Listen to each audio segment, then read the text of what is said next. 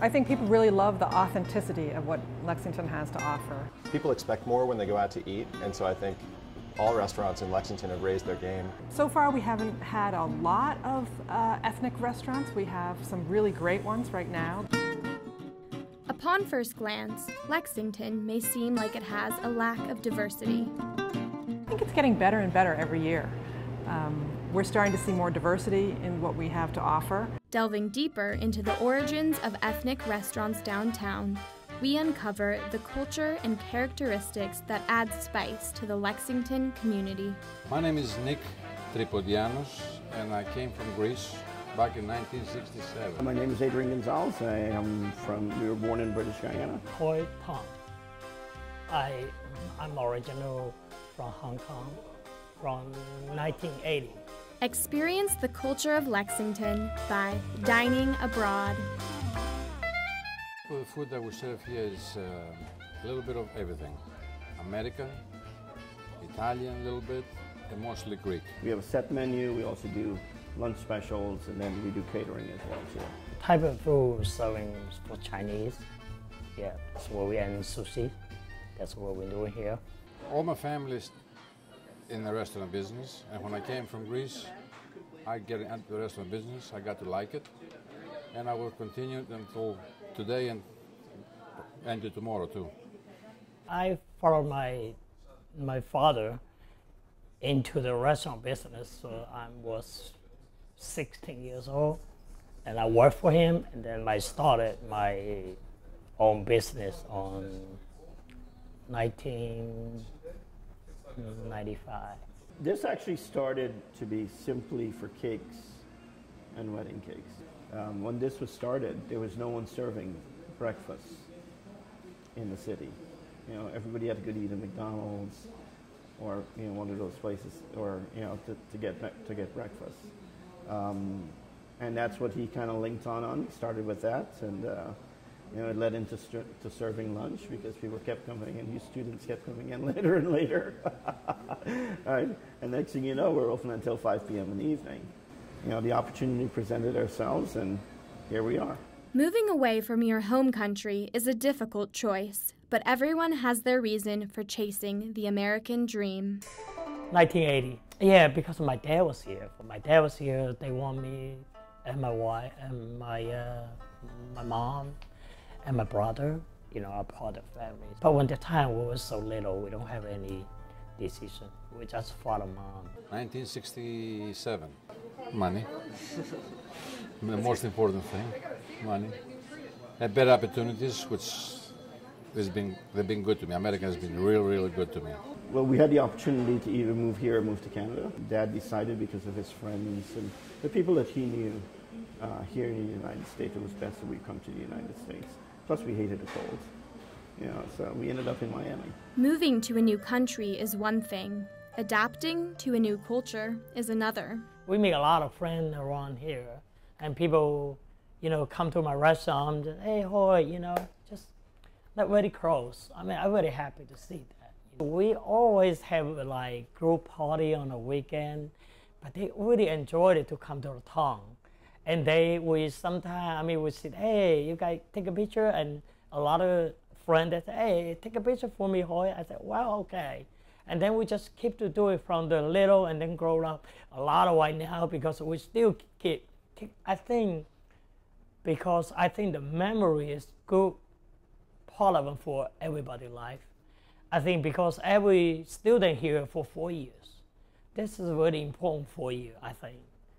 But I don't have a chance to college, so I think it's really important for the life for four years. So I think they stay in Lexington for during the four year. I think we at least have something there. Maybe one day they come back, they still see them picture here, and they bring their family or kid. Hey, when I was studying here, I I eating at home and take a they still have my picture there. I think that's wonderful thing, isn't it? I love it because it's uh, very simple to the culture that we have in Greece at the villages. Uh, people, they're looking for each other, they're looking after each other, and they're very they welcome me very well, and they adopt me into the community, and I appreciate it and I owe them a lot. when I was little, I grew up in Hong Kong. But I remember that time, I mean, my family, you know, living the space is like just like one like one bathroom size yeah for three people yeah that's why i like a lot of room that's one reason i want country i would like to come into the country it's a friendly place. It has amazing outdoor facilities. It has two colleges for a town of six or 7,000. There's just no place to beat it, really. It has a genuine and authentic feel, which I think is great. Despite the welcoming atmosphere, business in Lexington can be tough. It's a challenge. Um, when I say it's a business challenge, it's a business challenge because you don't have the volume as you would in any larger city or larger town. So you know, we tend to uh, we tend to be the city tend to be closed-minded to greater opportunities. We see the drop-off uh, in the dead of winter and, and then in the summer when Washington lays out of session. So um, I think that's a really significant part of the local restaurant economy, um, is Washington and Lee in particular. Uh, VMI to some extent also. As a business, it is challenging to be in business here within the city. Um, the majority of the population that lives here, uh, that lives within the city limits, spend very little time downtown. Right, so what do we do? You know, the struggle that we have as a, as a business is how do we attract those individuals to come through the door? This last year was an extremely difficult year for anybody here in the city. Very, very difficult. We lost three restaurants last year. Fortunately, these problems have not dampened the spirits of local ethnic business owners. We're going to own the block, dude. If John will let us buy the block, we'll buy the block. We would love to own the block. At the age that I am right now, I'm not looking for expanding, but I have my son, which is in the culinary school right now, and I'm teaching him the ropes, and I hope he'll take over this and let him do the exp expanding. Keep going, like good circulate, so I will just get more customers. So people feel happy with Tong, they just get more customers. So that's what we expected, you know, hopefully. You get to see different people from different parts of the country. Uh, I talk to them, I play with them, I joke with them, and uh, I curse them. Uh, they curse me back in a nice way, you know, in a nice way. And uh, they, I think they get to like me too, and uh, they encourage me to bark at them. It's just like, most like a friend they come to my restaurant, you know, I'm not actually like a customer. It's more like friend things here. We make a lot of friends around here, and people, you know, come to my restaurant. And, hey, Hoi, you know, just not very close. I mean, I'm very happy to see that. I, I've never had an issue with you guys, never, because I kind of view you guys as number one, you're you know you're part of our market. That's number one, and then number two, I was a kid as well. I did some crazy things. I've gotten myself in major trouble a lot of times. You guys are good. I'm serious. They love Lexington just as much as Lexington loves them. I love sweet treats because it's hard in Lexington to find a place that's not super formal like Southern Inn or Bistro or just fast food like Taco Bell or Sheetz. So this is like a really good intermediate sort of casual but still really good wholesome food. And like last week, it was my birthday, and my mom ordered a really awesome birthday cake from here. And I love Niko's. It's great, um, mostly because I love Greek food. And you wouldn't think you'd get good like ethnic cuisine down in Lexington, but hey, you can. So that's awesome.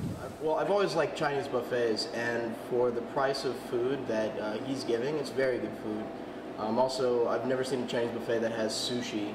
Mr. Tong is one of the friendliest guys that I know. Um, he really tries to know all of his customers by name. Um, he knows I love the uh, sushi on the buffet table, so every time I come, he uh, immediately goes over to the sushi table and starts making me uh, 10, 15 uh, salmon sushi and just delivers it right to my uh, right to my table. So like I really do enjoy my job. That's why I'm telling my employee. I said, well, I, I really do stay here at work. I hope I can stay here until you know when I retire. You know, I you know that's what I hope. Well, I welcome you, all of you people from the colleges, and local people to come to see me and come and, and feel, take your tie off, sit down and have, be comfortable and enjoy the food.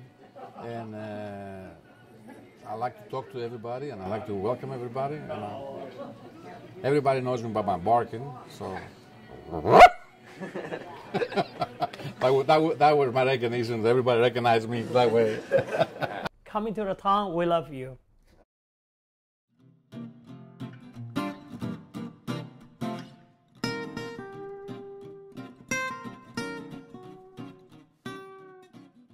If I say anything wrong, just cut it off. You're doing great.